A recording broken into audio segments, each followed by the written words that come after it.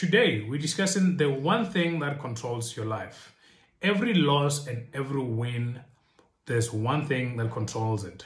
And you know it because we live in life where we know that's the beginning and the end of your life, your day, your week, your month, your year, and everything else that we do as well. Even this video has an end, so we have finite metrics that we can measure.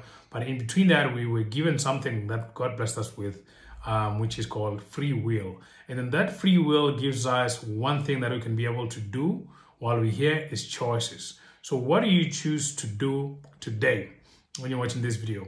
You chose to watch this video. What do you choose to do when you're successful? What do you choose to do when you fail? What do you choose to do when you get disappointed? What do you choose to do when things are not going your way? What do you choose to do when you're having a delayed gratification that you're still in the process of, you know, manifesting your desired goals and dreams? What happens then? What do you choose to do when you wake up? What do you choose to do after you get back from work? What do you choose to do after you eat your dinner?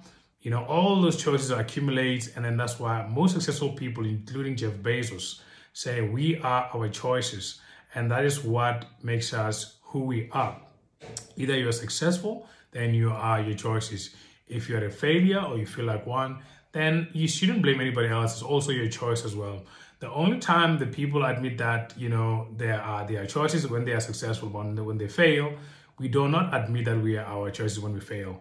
I do that too as well. Sometimes when I fail, I'm like, who made me fail or somebody else? But, uh, you know, if I dig deep and I sit down and I ignore the noise, I know that I feel that it is me, it's my fault, and uh, I have to do better. Then right now, I started doing that um, uh, uh, uh, um, at some point to say, hey, what did I do to put myself in this situation? What can I learn from it? Because, you know, failure usually is not as bad as it seems. I believe that life is about making mistakes and learning from them. And don't be afraid to make mistakes. I encourage all my students as well to say, um, make mistakes as much as you can. So the only thing about mistakes is that if you made a mistake, maybe that wiped you out, or maybe that uh, drained you, or maybe that got you to fail, you know, then the tough gets going. I always ask my student one thing, what keeps you going when the tough gets going? You know, maybe they choose to go, but why do they choose to go? Then we go a little bit deeper and they always answer with one thing, which is my why. And your why is something that's going to keep you going as well. And this is something that you also have to choose wisely as well. Say, okay, I'm choosing what my why is.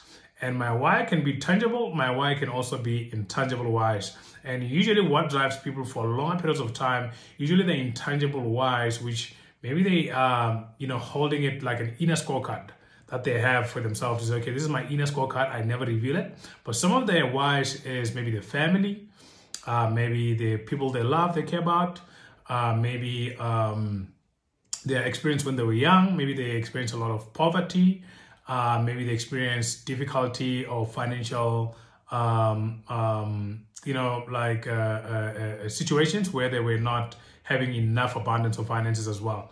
Uh, let's just say poverty in a sense.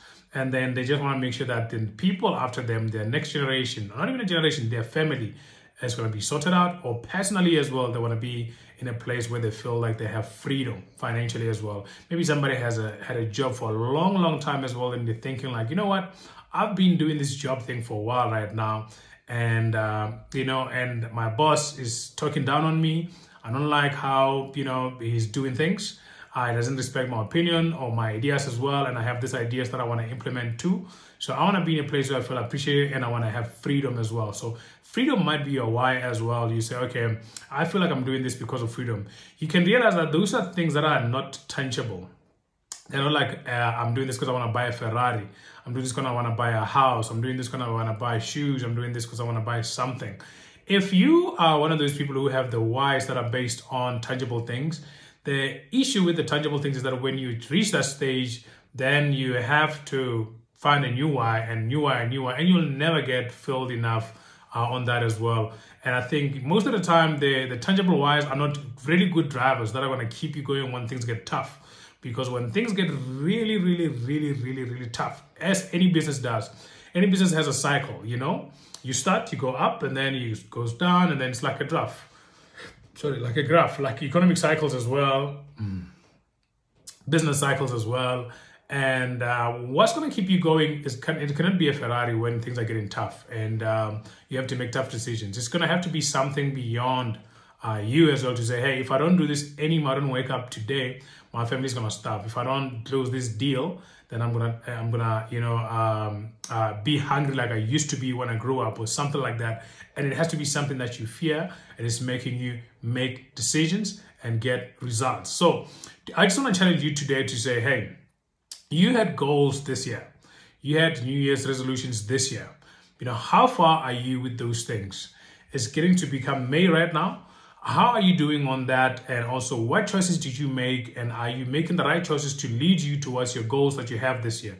And also, I mean, um, if you have fear right now, you know, if you have the anxiety of saying, okay, maybe this thing is not the right thing to do, if you're somebody who feeling like giving up, the COVID 19 affected all of us, the finances are bad, January and February was the worst month I've ever had.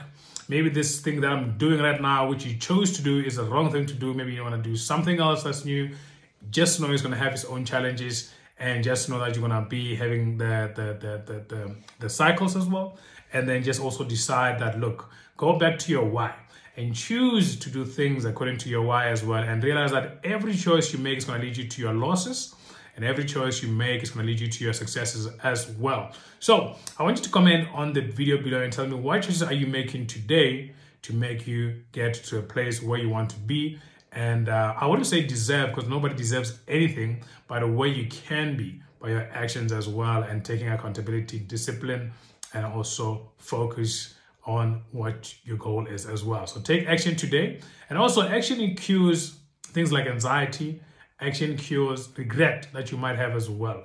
Most of the time the regret can be some very, very heavy thing that we have like we regret leaving my job, I regret doing this, I regret doing that.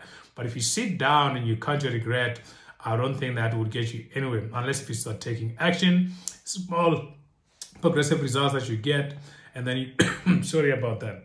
And then you be able to gain a little bit of confidence and then you get to your wins as well. So i want to see you guys win and uh, keep winning if you're already winning. And if you think you're having a hard time look maybe this is the video you needed to watch and keep going and make the right choices going forward. Uh, so this is one thing that controls your life. I'll see you guys next time. Bye